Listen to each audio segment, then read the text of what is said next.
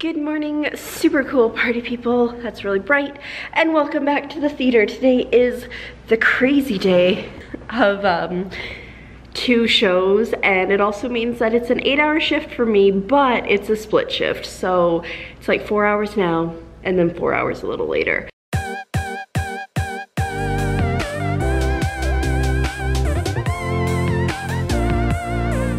So it should be fun. Anyway, I am really tired. The dogs, dogs.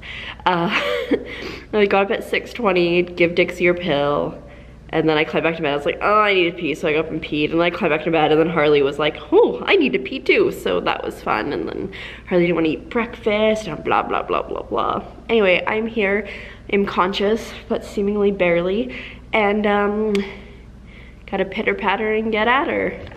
Okay, so I have survived shift number one. I'm sitting upstairs in the theater right now. I went and grabbed lunch. There's the other show in right now. I'm just, you know, doing work because I'm always working. And then four more hours and then I'm free for the day and then I work like the next three days. I'm gonna die. But I just wanted to update. I am dying a little bit and I look crazy with my hair right now. Anyway, I finished a blog post. I'm pretty much done my second query letter, whatever. I hope you can hear me, that's really loud. And now I have to go through my first 10 pages of my manuscript and make sure they're aces before I send them off. so much to do, but about 20 minutes and I have to go back to work, so we'll see. I might stop for here for, for here for now. Okay, so I am back home. I am exhausted. My body hurts and I just, I just want to go to sleep, but I can't because I need to feed myself for one, but more importantly, I need to feed the dogs here in like half an hour or so, but glad to be home. But I'm gonna go lay down now and hopefully not pass out and then maybe have a bath later because I just, I feel like I ran nonstop for eight hours, which hasn't happened for a while, so it's a little rough we are not doing well. My body is just in so much pain. I feel kind of sick. I just had chicken and rice, which is like the blandest thing I can think of, but I'm like dying. I think I might try to get into the bath here soon if I can get up. Like I tried to stand up earlier and I almost fell over. So yeah, it's like my ankles and my knees are just dead.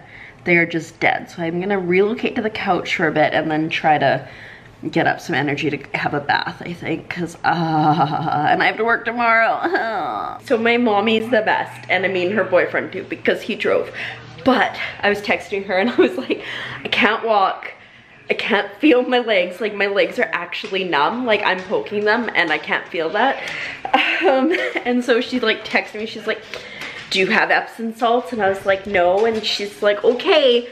So she got me, she brought me a care package. So let's, let's see what we have here. So, chips. Because their chips are great when you're feeling blah. And some regular ones.